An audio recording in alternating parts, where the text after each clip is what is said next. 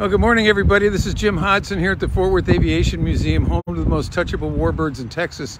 Uh, we have a special guest with us today. I know this is an unannounced uh, video, but uh, we're going to go ahead and uh, we had this opportunity. I'd like to introduce Bryan Pennington. Bryan is a uh, uh, former Navy man, and he has some information about patches, which is firsthand information. And so we thought we would put him on today and, and talk about that a little bit. So, um, Bryan, tell us a little bit about your background first. Um, United States Navy. I retired 02 as a Chief Warrant Officer 4. I uh, uh, I was in uh, Millington, Tennessee at the Naval Air Training Center back in the day between 93 and 96. I was attached to Naval Air Maintenance Training Group headquarters. My position there in uh, Tennessee was that I was the helicopter coordinator for maintenance training. And in my space in Tennessee, I shared the room or the space with six of the most impressive Marines that I ever met in my life. And so the connection that I have here with this great helicopter patches all started with the senior Marine in my office. During that time period, 93 96, the transition was taking place of moving the training from Millington, Tennessee to Pensacola. This Marine directly across from me desk, and floating around the uh, the base were takers and disposal list. Since people were moving, some things were going and some things were going away, given away, or disposed of. And so anyway, either by word of mouth, phone, or on the list, this Marine recognized this BuNo on this list. And this airplane, it was an H-53, this airplane, it was part of the Marine Corps Helicopter School at the Naval Air Training Technical Training Center. And he saw that it was either going to be taken by somebody else or disposed of. He jumped up out of his seat and he took off. Well, when, when this man finally came back, he told me that he was now the owner of this airplane. okay. And so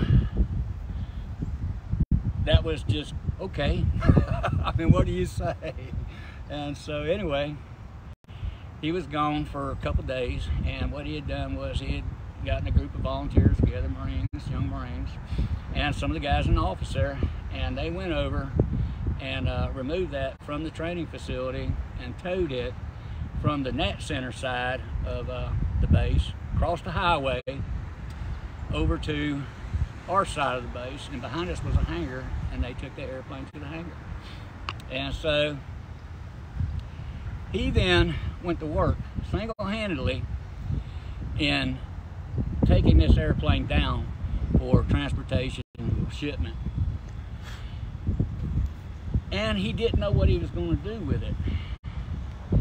But he did come over to the office one day in the middle of all this going on, and he says, Master Chief, at that time I was Master Chief. This happened prior to my commissioning to a warrant officer. He came over to me and he says, hey, he says, this is this being a Navy installation, he says, I need some equipment to help me out doing what I'm doing. And I said, okay. So I went over and I made all the uh, uh, arrangements and uh, got everything he needed, and uh, there was no problem in doing so. And from time to time, I would just go over with myself or one of the guys in the, at the headquarters, whatever, we go there. And it was just amazing to watch him by himself. Sure, go ahead. On this helicopter, and he took everything that you see now down. Yeah, when we got the airplane, the blades were off uh, the transmission was on, but we had to remove the transmission for transport, and uh, uh, so otherwise it was it was intact. Yes. When when it was was when it was uh, made for transportation, the blades were down, the head were down, the transmission was If he took it down single-handedly and palletized and strapped all this stuff down to pallets. And then he came in and he said, he says, Master Chief, I talked to the people at uh, the Naval Air Museum in Pensacola, Florida, and they said they would love to have this airplane if we could provide transportation for them. And so, so I said, okay. And knowing a little bit about a lot of stuff, or anyway, I thought that the only way that I was going to get this done, if I was to help in this process, was to contact with some reserve transportation squads, which I did. I, I got a hold of a C5 unit in Texas that were reserves, and I just casually asked the uh, chief master sergeant if they were looking for some training exercises, and uh, he says "M- uh, sure, they sure were because Okay. they're tired of doing circles. and so he said he'd call me back. So he called me back, and he said, "Yeah, we can put you on the schedule." And so that was all great. And so I believe it was, I believe it was the Saturday before Thanksgiving of '95 is when I think it actually happened. And so, and I and I kind of remembered that date because we, my wife and I went to the commissary, loaded up on our goods, went over to the hangar, and it was a cold morning, very cold morning. And as scheduled, at 11 o'clock, boom, this C5 was approaching uh, the runway, made his landing, and as he touched down, the sergeant had a train. He had his tow tractor and trailers. and here he was on the tow tractor. it was one of the tow tractors that you sit on top Sure, of, so sure. it, looked- it's almost comical to see it. And this it- was all at Millington. At Millington. Yeah, okay. He, he pulled out, the C5 came over, they talked, they all got together, loaded this thing up in just a short period of time. Right. And that was it. So this makes the second airplane we've that has been delivered in a C5. This one was taken to Pensacola, Yep. And our F-14 was brought here in a C5. So that's that's an interesting part of the story. So then from there it got to Pensacola, and then we acquired it and we trucked it here. But you also mentioned uh, that you had spoken to people who had been on the airplane when it was hit in Da Nang. Uh, what can you tell us about that? The little bit that I know is that it was hit by an RPG, and that's why it was peppered in name patches. But I also was told that there was other damage that they had to put the aircraft down. Okay. And thinking about getting this thing home, they had a way. Well, we need this. We can do without this. And so uh, I think they had some uh, hydraulic uh, lines and maybe even a fuel line that they somehow or another doing battlefield damage repair, which is basically tape and baling wire. Put this thing together enough to get it off the ground and to get it home. Okay, because we we've got pictures of it flying after the damage, and our information was, and based on the hit pattern on the airplane, is it was hit on the ground. Yeah. Uh, so, but we know that it flew afterwards. It may have taken place at that yeah, point. yeah, but we know it. We knew it flew afterwards because we've we've seen pictures of it flying after it was hit, and then it was brought back. Now, are you aware of the modifications that were made to this airplane at Millington? Only from your bio. Okay, Okay. okay, Because I didn't know anything about this bird. Okay. This this Marine. and what was what was his name again? That's what I can't remember. Oh, okay, all it right. wasn't Boyington and it wasn't Byington, but Yeah. something in the realm. Okay. there. That's all I can remember. But this was a person who was at Millington. yes, sir. Okay. Yes, he was the he was uh actually he, I think he was the senior guy of the Okay. Marines in the room.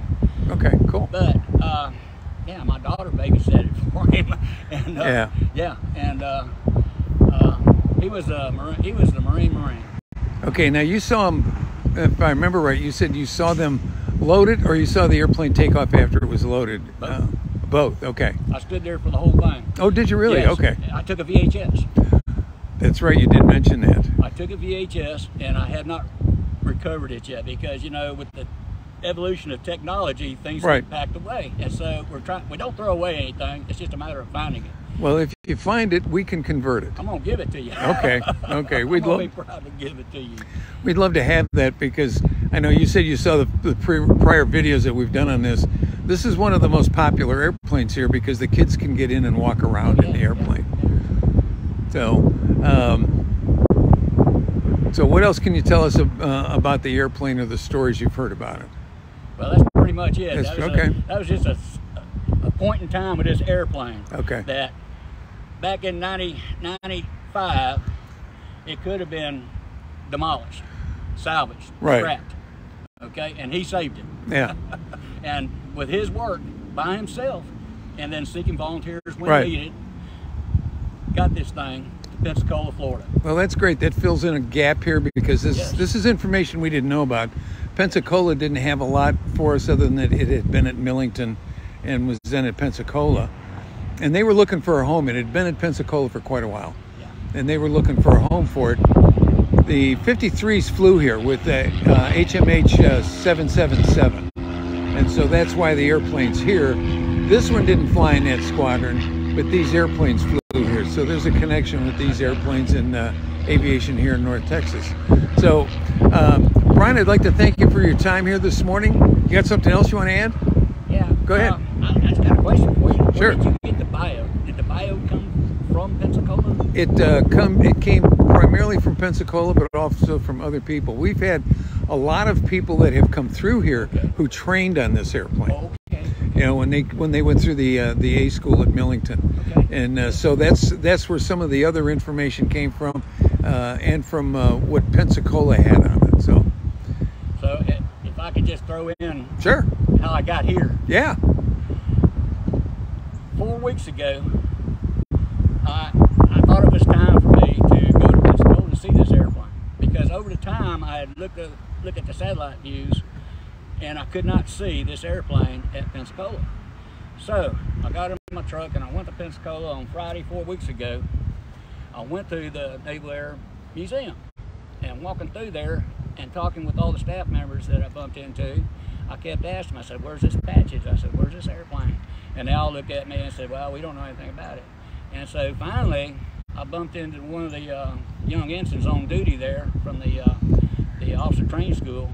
And uh, I told him my dilemma, and he says, wait a minute. He says, uh, the librarian's office is right back here. I said, let's go there. So we went there, and uh, he introduced me to the librarian and the operations manager of the museum in Pensacola. And so I asked him, I says, I'm here to find patches. What happened to H-53 patches? And he said, I know that airplane.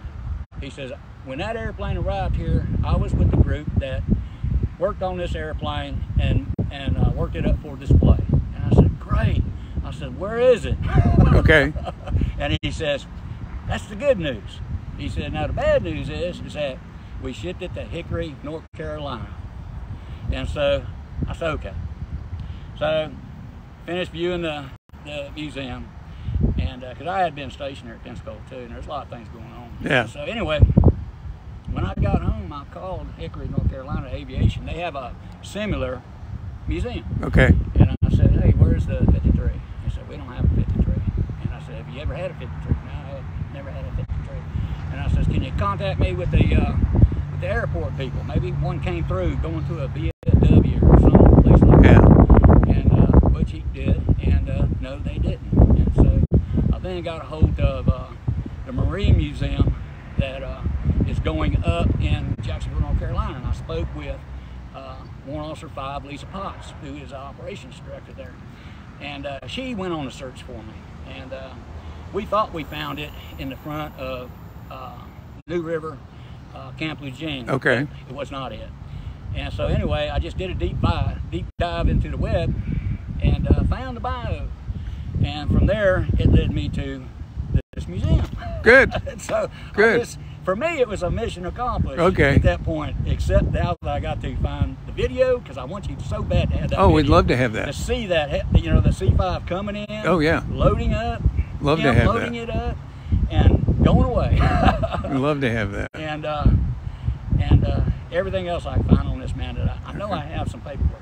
So anyway, here I am. Well, Bryan, thanks. Uh, thanks for stopping by and getting in touch with us about this. This is going to be a nice little piece to add to the history of this airplane. We like to do that. That helps uh, keep them alive and it makes them even more interesting. So, uh, I'd like to thank you again for being here today. And so, from uh, from Fort Worth Aviation Museum, home of the most touchable warbirds in Texas, this is Jim Hodson saying, "See ya."